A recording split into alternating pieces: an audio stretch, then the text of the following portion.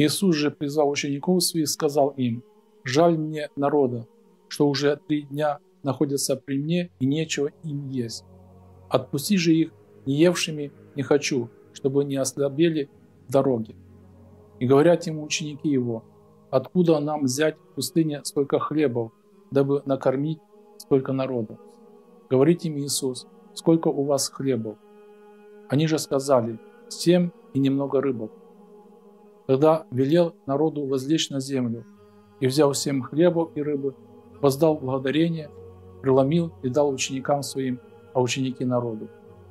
И ели все и насытились, и набрали оставшихся кусков семь корзин полных, а евших было четыре тысячи человек, кроме женщин и детей. И отпустив народ, он пошел в лодку и прибыл в пределы Магдалинские. Сегодняшнее евангельское чтение повествует нам о втором чуде умножения хлебов, совершенном Господом нашим Иисусом Христом во время Его земного служения.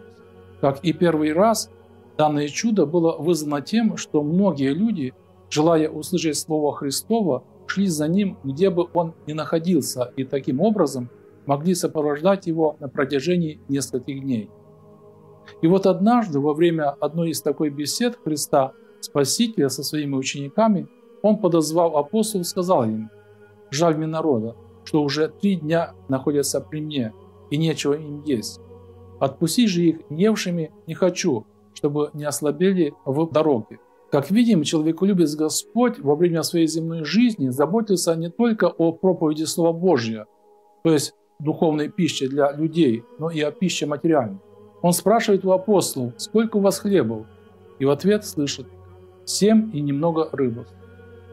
Взяв эти небольшие пищевые запасы, которых было бы достаточно, пожалуй, только для двух-трех человек, Христос, помолившись, преломил и раздал своим ученикам, а ученики народу. Однако по молитве Господней этих семи хлебов хватило, чтобы насытилось более четырех тысяч человек. При толковании данного евангельского отрывка святые отцы спрашивают, почему Господь не сам раздает пищу народу, но просит об этом своих апостолов.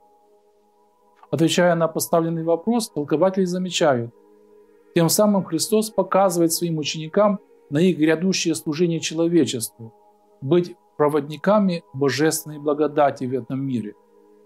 Кроме того, в чуде умножения хлебов нам открывается подлинная тайна христианства. Господь дает нам все с избытком – ведь апостолы после насыщения народа собрали полных семь корзин хлеба. Это значит, что у Христа достаточно всего, чтобы не только спасти наши души от духовной смерти, но и напитать их жизнью вечной. Чудо умножения хлеба говорит нам о том, что у нас ничего нет собственного нашего. Наша жизнь и смерть в руках Божьих, и наша пища, то, что мы называем хлебом насущным, тоже в Его руках. Господь всегда готов напитать нас, у Него всегда достаточно щедрости, чтобы каждый был насыщен. Читая сегодняшнее Евангелие, мы должны помнить, что Бог никогда не оставляет верных без своего внимания, помощи, заботы и заступления. Господь видит все наши нужды и дает все то, что нам полезно и необходимо, насыщая не только духовными, но и земными благами. В Его власти вся наша жизнь. Мы мало о том задумываемся, порой нам кажется, что поступаем по собственному разумению и желанию. Только ничто в этом мире не совершится, если на то не будет воли Божьей. И все, что не делается, делается к лучшему, хотя иногда нам кажется, что это не так. От нас же требуется только смириться пред всемогуществом Божьим и во всем уповать на Господа. Христос Спаситель видел, что люди нуждаются в хлебе и накормил их. Также и в наших устремлениях Бог всегда поможет в благом начинании, даст необходимые силы в исполнении того, что угодно Ему и полезно нашим ближним. Мы должны помнить, что земные блага приложатся, если будут нам действительно необходимы.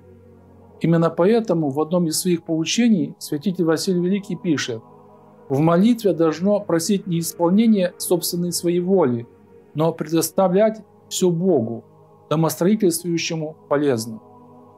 Ведь Богу лучше известно то, что поистине необходимо человеку.